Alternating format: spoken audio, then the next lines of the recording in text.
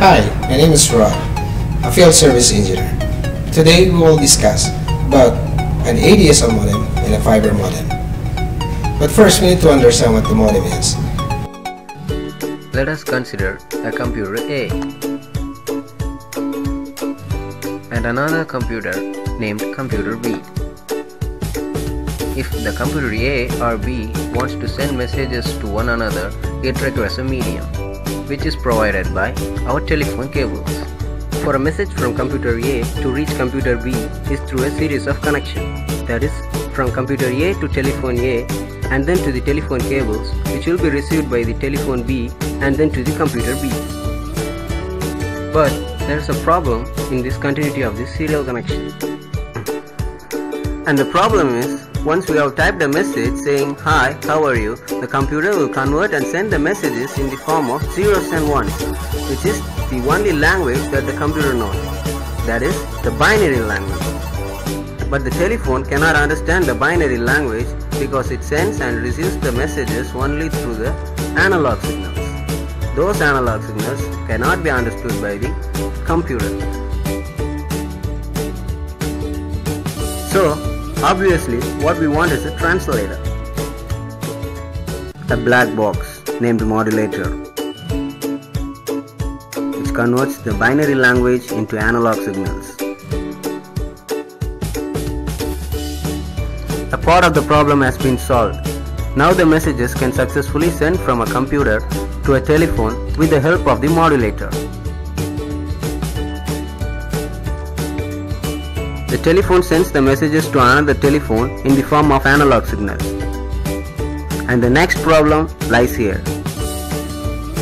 We require another kind of black box to demodulate the analog signals to binary language.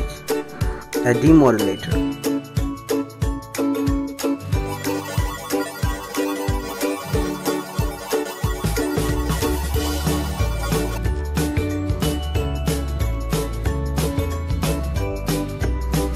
Now, the message can be successfully sent from computer A to computer B.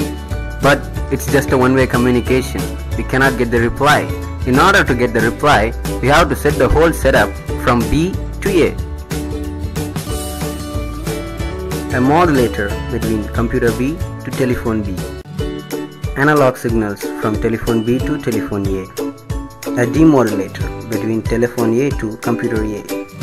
As time passes, the modulator and demodulator combine together to form a single box named modem. Now we can send and receive messages and it became two-way communication. Everything became possible with the help of the one and only modem.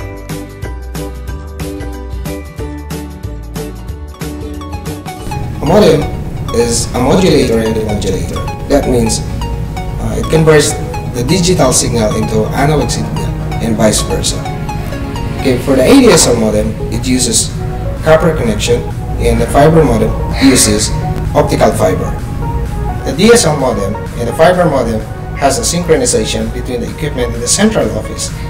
In the DSL modem, the light indicator for the synchronization is ADSL light. In the fiber modem, the light indicator is the PON. So a solid ADSL light, that means it has a good synchronization in our uh, central office equipment going to this modem. If an ADSL light is blinking, that means we have a problem with our physical connection, probably a cable cut or a no signal. For the fiber modem, the light indicator is PON. So a solid green light for the PON, that means it has um, a good signal from central office going to this equipment.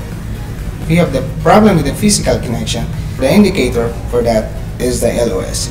So you can see a red light and that means it has a problem with the physical connection. And also these two modems has a router functionality. So that means you can connect to the internet using wired and wireless. So for the ADSL modem, you can connect your LAN cable from LAN 1 to 3 and the LAN 4 is intended for IPTV. For the fiber modem, LAN 1 is intended for the internet connection using your LAN cable and the LAN 2, 3, and 4 is intended for IPTV. So for the wireless connection, both of these devices has a dual band wireless.